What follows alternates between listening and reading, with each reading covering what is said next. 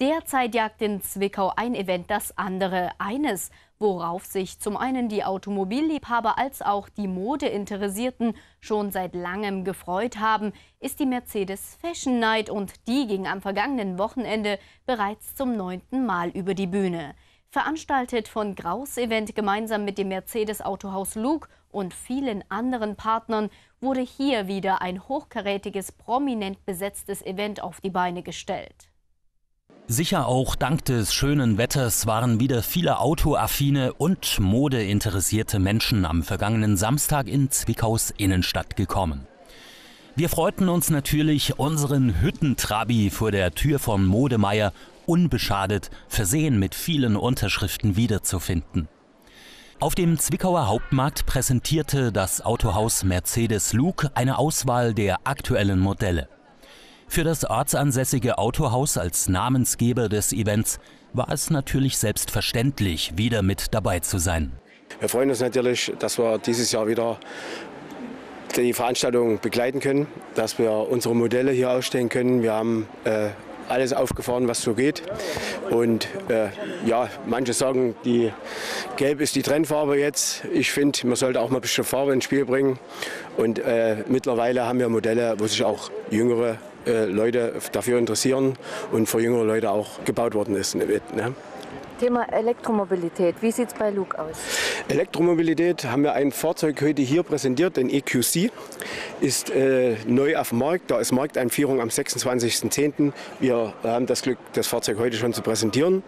Äh, und dann haben wir auch im äh, Smart Probefahrt Event einen Smart EQ mit zugelassen, den jeder auch hier selbst mal probieren kann. Während sich so mancher noch in den einen oder anderen Mercedes verliebte, ging's im Bürgersaal des Zwickauer Rathauses in puncto Mode so richtig zur Sache. Hier präsentierten sich die Zwickauer Einzelhändler mit ihren Modenschauen.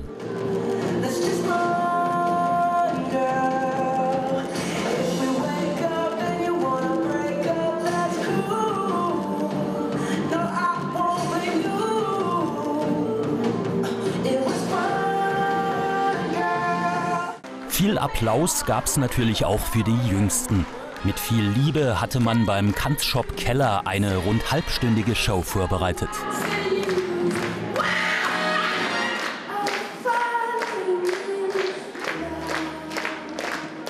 Der Höhepunkt der Mercedes Fashion Night war natürlich auch in diesem Jahr wieder die große Abschlussshow. Ehe die Gäste in den Bürgersaal des Rathauses strömten, baten wir die Protagonisten des Events um kurze Statements. Wunderschönes Wetter wie jedes Jahr und natürlich großen Dank an die Einzelhändler, die dieses Event nutzen, um ihre Mode vorzustellen und um ihre Kundenbindung hier auch ja, zu festigen, will ich mal sagen. Ich bin heute, muss ehrlich sagen, das erste Mal seit neun Jahren war mal die Zeit, um am Nachmittag durch die Stadt zu laufen. Und es war absolut beeindruckend, wie viele Leute unterwegs waren, wie toll die Leute angezogen waren, wie die Geschäfte voll waren. Man hatte wirklich das Gefühl, das Wetter war natürlich auf dem Punkt, das war perfekt. Und äh, man hat eigentlich nur zufriedene Leute gesehen. Also ich glaube, die Leute haben wirklich so den Drang, unterwegs zu sein, ihre Stadt zu erkunden. Und äh, wir hatten mehr Händler als letztes Jahr. Das ist, denke ich, ein großer Verdienst für viele Leute, die da im Hintergrund arbeiten. Und ich muss einfach sagen, das war bis jetzt eine ganz tolle Konstellation, ein ganz toller Tag. Es ist euch ja auch wieder gelungen, heute diese Absolventen hier zu gewinnen und wir sind jetzt schon gespannt, wer das Rennen machen wird. Schauen wir mal. Ja, also ich weiß, dass uns viele beneiden über dieses Rahmenprogramm, weil das sind einfach Dinge, die müssen wir uns ja nicht einkaufen. Also ein Thomas Rath, ein Joachim Lambi, das sind alles Leute, wo wir schon auch finanziell äh, ordentlich in die Tasche greifen müssen, um die Leute herzuholen. Aber die Absolventen hier zu haben, das ist genau das, worum uns viele beneiden und ich denke, wir haben heute eine Show zusammengebastelt, die ähm, hintereinander weg, ich denke mal, ähm, ganz toll sein wird für alle, die da sind. Also ich finde Zwickau unfassbar schön, muss ich sagen. Also die ganze Anreise war schon so schön. Ja, auch die ganze Gegend. Und ich bin so herzlich empfangen worden hier in Zwickau. Also das hat mich sehr gerührt. Und hier im Modehaus Kress, meine Güte, was ist hier passiert? Ja, diese tolle, ja, diese tollen Tanzpaare, die wir bewerten durften, was ich also ganz toll fand. Ja, und eine enorm schöne Stimmung. Es ist ja eine gewachsene Sache. Es ist die neunte Mercedes Fashion ja. Night. Die Geschichte hat sich weiterentwickelt und wir haben es heute von der Wirtschaftsförderung gehört. Es bringt natürlich die Einzelhändler zusammen. Und das finde ich ganz toll. Also es ist ja schon das neunte Mal, dass das passiert. Ja? Und ich finde es toll, dass sie das so macht. Warum?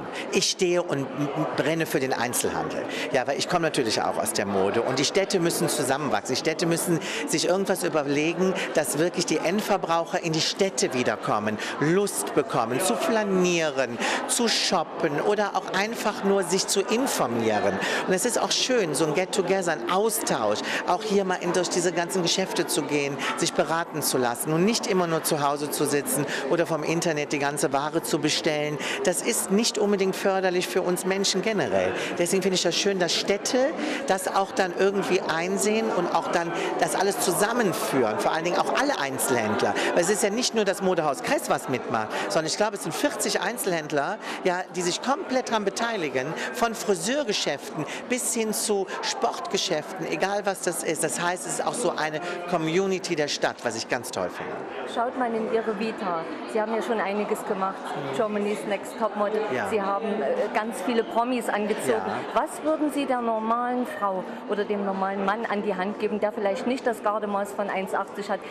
Darf er auch trotzdem Mode tragen? Sollte er modebewusst sein? Er soll sehr modebewusst sein. Aber modebewusst ist auch ein sehr breites Spektrum. Also man darf auf keinen Fall die Leute jetzt irgendwie äh, dahin zu erziehen, dass sie so Modegockel werden. Sie sollen, sage ich mal, sich wohlfühlen in der Klamotte, die man anhat. Aber sie sollen auch so ein bisschen, sage ich mal, mit den Modetrends gehen. Für die Frau aktuell. Es sind so hübsche Herbstfarben, die kommen. Wie Camel, Sie tragen es auch. Leo ist riesig angesagt, ja. Das soll man alles mitmachen, weil das ist jetzt gerade, hat man Spaß drauf. Camelfarbene Mäntel. Alle Männer sollten im Grunde genommen sich einen camelfarbenen Mantel kaufen, ja. Und man nicht den Mantel tragen, den man schon drei, vier Jahre anhat, sondern vielleicht mal einen neuen Mantel dazu kaufen. Man soll so ein bisschen spielerisch damit umgehen. Die Hosen dürfen ein bisschen schmaler werden. Ja, elastische Jogpants zum Beispiel sind für die Männer sehr angesagt. Also die sollen auch mal das Elastan entdecken. Also rin an die Läden, sage ich ich immer, rein in die Geschäfte und bitte einfach mal ausprobieren und mutig sein. Mutig sein, das ist wichtig. Ich finde, dieses Jahr ist besonders voll in der Stadt gewesen. Natürlich das schöne Wetter auf der einen Seite, aber auf der anderen Seite auch äh, tolle Modenschauen. Die Einzelhändler haben sich viel einfallen lassen. Und ich glaube, äh, so viel wie heute in der Stadt los war, ist nicht jeden Samstag oder nicht jede Woche los hier in Zwickau.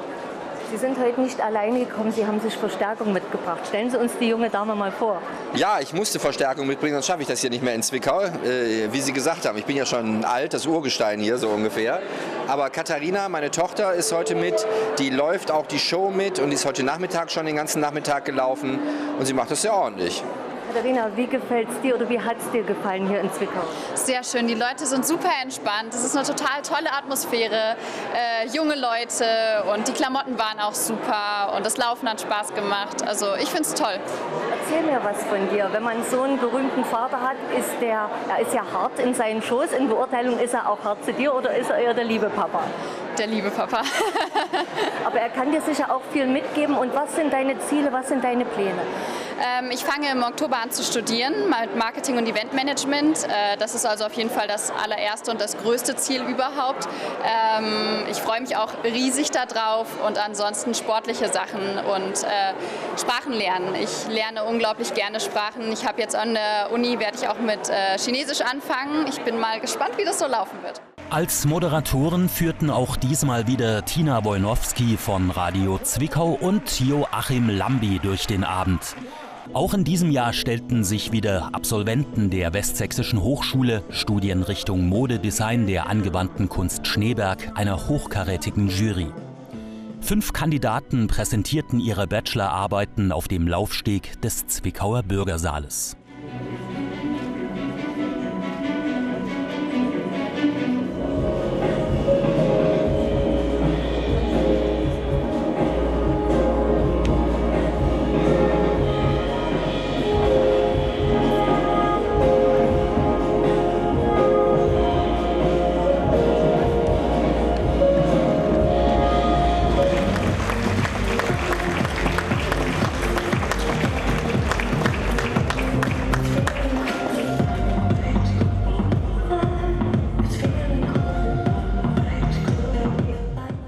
Schnell hatte die dreiköpfige Jury die neben Thomas Rath aus Doris Hartwig die Männer so richtig gut anziehen kann und Mara Michel, Vizepräsidentin des Dachverbandes Deutscher Designer, bestand, ihre Favoriten für den mit 1500 Euro dotierten Mercedes Fashion Night Award 2019 gefunden.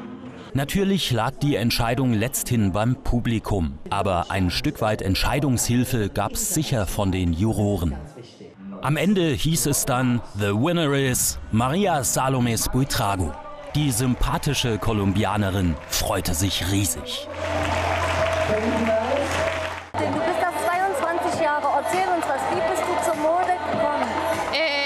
Habe mich schon in Kolumbien entschieden, als ich mit der Schule fertig war, habe ich ein Stipendium, um Deutsch zu lernen. Und deswegen kam ich hierher, weil ich konnte ja ein, ein, ein Jahr Deutsch lernen.